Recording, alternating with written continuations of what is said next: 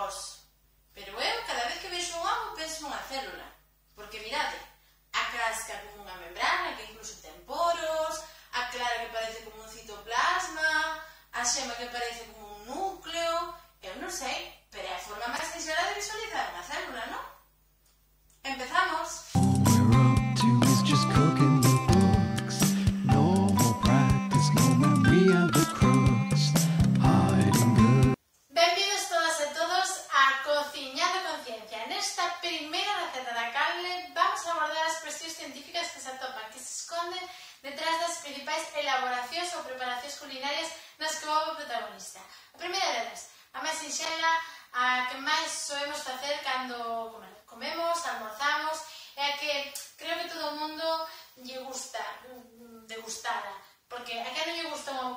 un ovo frito ben feito aí para poder mollar pan e, e todas esas cousas. Pois ben, que é o que está ocorrendo? En que nos pode axudar a ciencia para explicar o que está ocorrendo? Porque basicamente, cando fritimos ou cocemos un ovo, o que estamos observando é dos cambios. Un cambio na textura, pasamos dunha clara fresca cunha consistencia líquida e gelatinosa a unha clara cocida ou fritida cunha consistencia moito máis compacta, moito máis sólida e a vez tamén hai un cambio de coloración. Pasamos dunha clara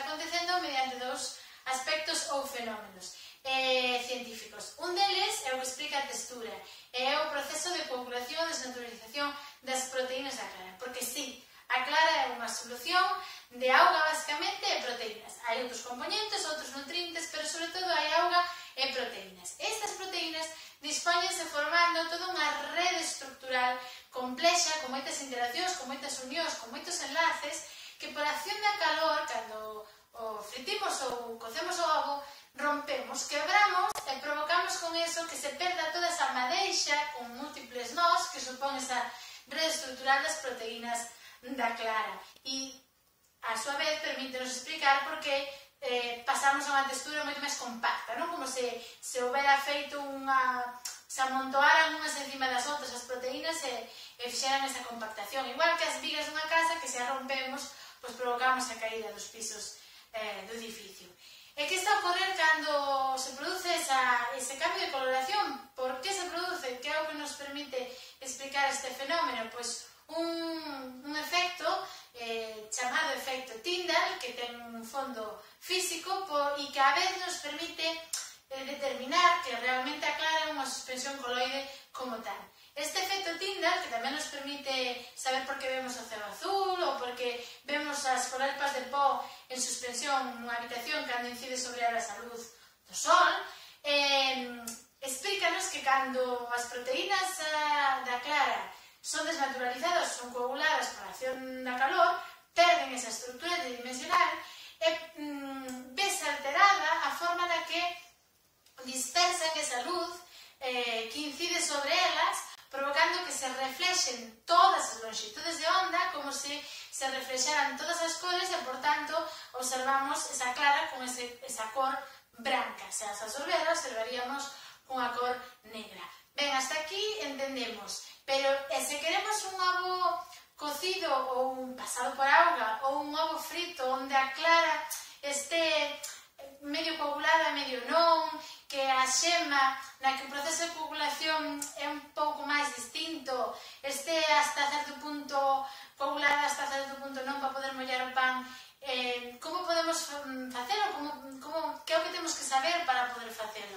Pois temos que coñecer as temperaturas ás que acontece esta coagulación das proteínas da clara, as da xema tamén, pero Digamos que a primeira que coagula, as primeiras que coagulan son as da clara, en torno aos 62, 60, 60, 60, 62 grados Celsius, as das proteínas da xema xa coagularían en torno a os 72, 73 grados Celsius, e digamos que o grado máximo de coagulación densidade da xema chegaría en torno aos 80, 82, 83 grados Celsius. Por iso é importante coñecer estas temperaturas para poder determinar en que fase, en que grau de coagulación queremos que remate a noso, a, claro, do noso ovo fritido, a nosa a, a xema ou no caso do ovo pasado por agua para que non chegue a ser un ovo cocido como tal.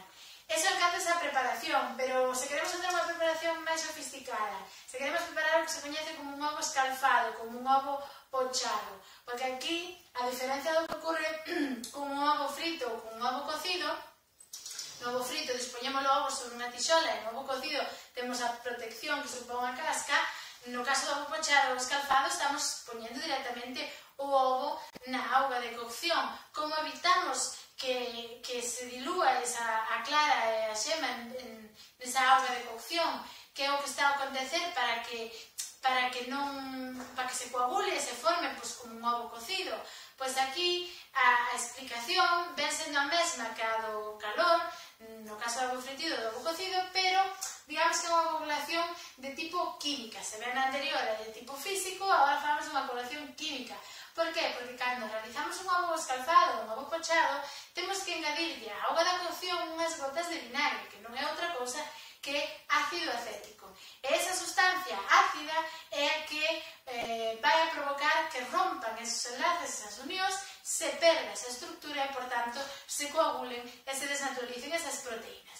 E se queredes que esas, mm, esa clara dese ovo non, mm, pois non presente barbas ou restos ou se desperdigue por toda así como un, unha forma medio amorfa eh, e queredes que quede pois, un ovo escalfado bonitinho non? para fotografar ou para dispoñer un, un invitado especial o que tedes que facer é, mm, antes de engadir o agua na auga, facer un remuiño, un vórtice nesa auga, e por, por acción da, da forza centrífuga, sí, a mesma que empregan as, as lavadoras, o que vamos a fazer ao, ao, ao dispoñer o agua nese interior dese vórtice, dese remuiño, é que con esa forza centrífuga se arrastre, se aclara e se forme esa disposición redondada e eh, bonitiña para presentar do ovo pochado e do ovo escalfado. Ben, hasta aquí, digamos, as preparacións mmm, saladas, non? As preparacións, digamos, menos, menos complexas, as que solemos utilizar. Pero tamén hai preparacións, porque o ovo emprégase moitísimo as elaboracións e preparacións, é unha delas,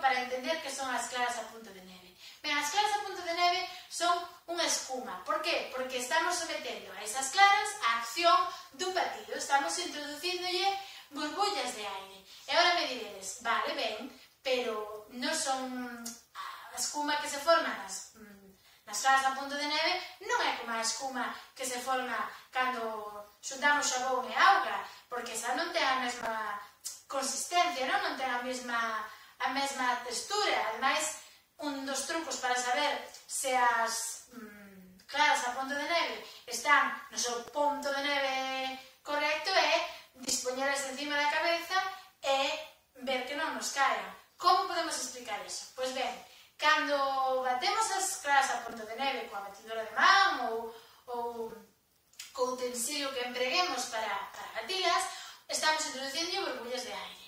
Estas burbullas de aire van a unirse á auga da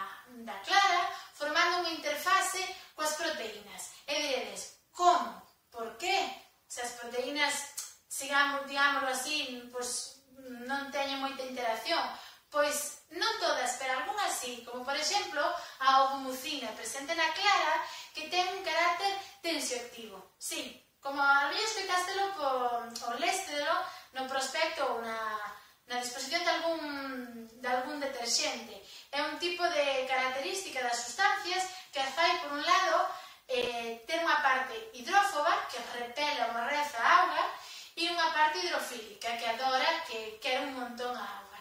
E de que lle vale isto a glucina das claras? Pois para permitir esa interfase, esa retención das moléculas de aire, das burbullas de aire, que se dilúan nesa, nesa auga. Porque, por un lado, pola súa parte hidrofóbica vai unir ao aire, e, pola súa parte hidrofílica, vai se unir á agua favorecendo esa solución.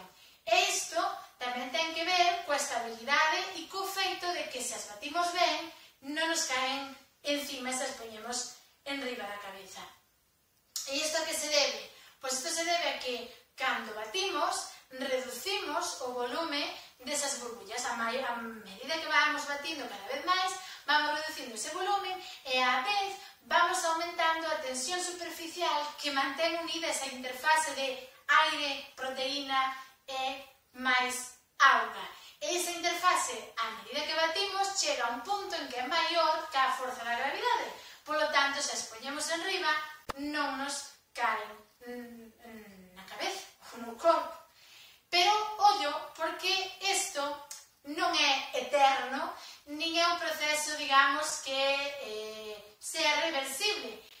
Se, é reversible no sentido de que se nós seguimos batindo, o que estamos a provocar é que a coaxitación mecánica que supón a, facer o batido, ademais de introducir máis moléculas de aire que van a ocupar espacio e, por tanto, verse en competición e loita coas outras para poder formar parte desa interfase, tamén estamos provocando desnaturalización das proteínas, é dicir, facendo que se rompan os enlaces as unións e queden zonas ou áreas desas proteínas que sean máis accesas a outras proteínas, a antra clara, a outras sustancias, e entón reduzan a capacidade destas para unirse a maior, ao maior número de moléculas moléculas de aire que facemos ao batir.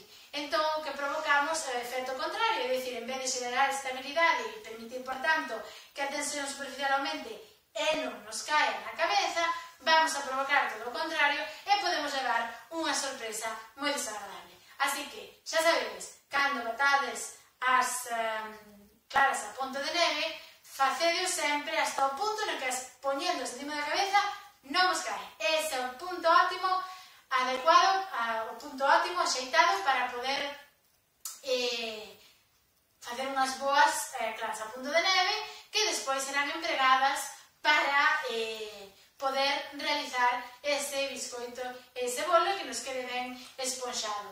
Que ven sendo algo parecido ou, ou semellante ao que ocorre con os suflés. Eh, todo o mundo sabe que cando preparamos o suflé o estamos engadíndolle son caras a ponto de neve.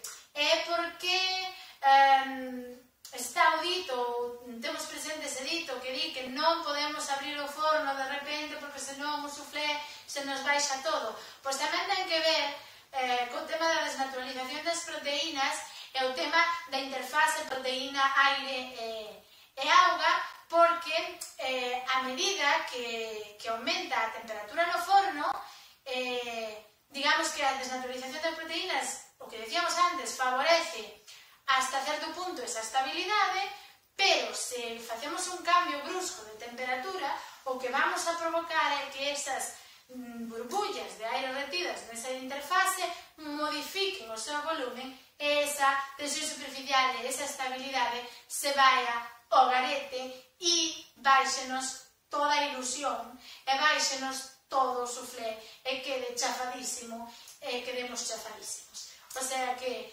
eh, con esto remato esta, esta primeira revisión as cuestións científicas do ovo na cociña, hai máis preparacións, hai máis cuestións implicadas, pero considero que mm, nesta ocasión para este vídeo son son as adecuadas, son as suficientes, así que emprázovos a, ao seguinte vídeo no que tocarei algunha máis, pero xa referida a outros aspectos tamén de moito interese na cociña que facemos e que en os que non, non nos percatamos da, da grandísima ciencia e da cantidade de ciencia que estamos a, a facer.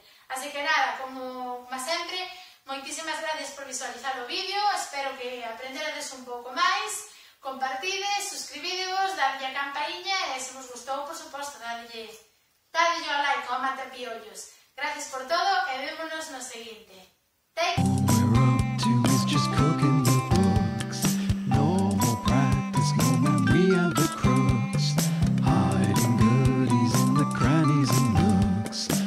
very deep, cause they barely